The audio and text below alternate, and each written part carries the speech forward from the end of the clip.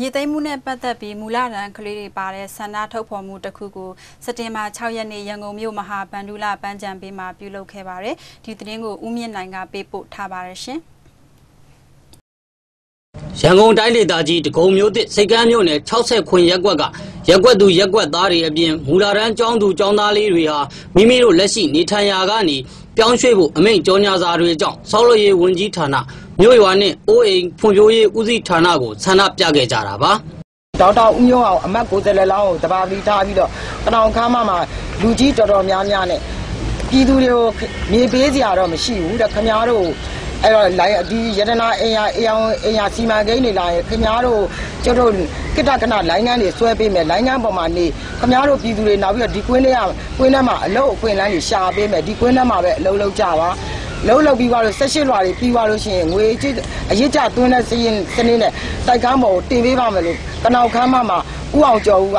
ဂရီပေးသွားတယ်အဲ့ဒီဂရီကြောင့် သူကအခုဂရီပေးတဲ့အတိုင်းမလုပ်ဘဲနဲ့ရှောင်နေတဲ့အတွက်ကြောင့်အမေတို့ဆန္ဒပြခြင်းဖြစ်ပါတယ်တာဝန်ရှိသူတွေအနေနဲ့ပြည်သူတွေကိုပေးထားတဲ့ဂရိတည်တဲ့နယ်လို့တကုံမြို့နယ်ပြည်သူ့လွှတ်တော်အမတ်ဒေါက်တာမျိုးအောင်က DVB ကိုပြောပါတယ်အဲ့တော့ဆိုရမှာပဲကြောင်းမရှိဘူးသူတို့ဂရီကိုအတိုင်းဆောင်ရွက်တယ်ဆိုရင်တော့အစင်တန်းရှိတဲ့နော်ကိုဂရီကိုတည်ကြည်တဲ့သူကတရားနေဖြစ်မှာနမို့ရင်တော့ဒါကခုနလိုလူငယ်လူလူကိုပြေးထားတဲ့ဂရီကိုတစ်ထည့်ရအောင်ပါဒီလိုပဲဒီလိုပဲတကယ်လို့ တကုံမျိုးသစ်စိတ်ကမ်းမျိုးနယ်ကရက်ကွက်သူရက်ကွက်သားတွေအနေနဲ့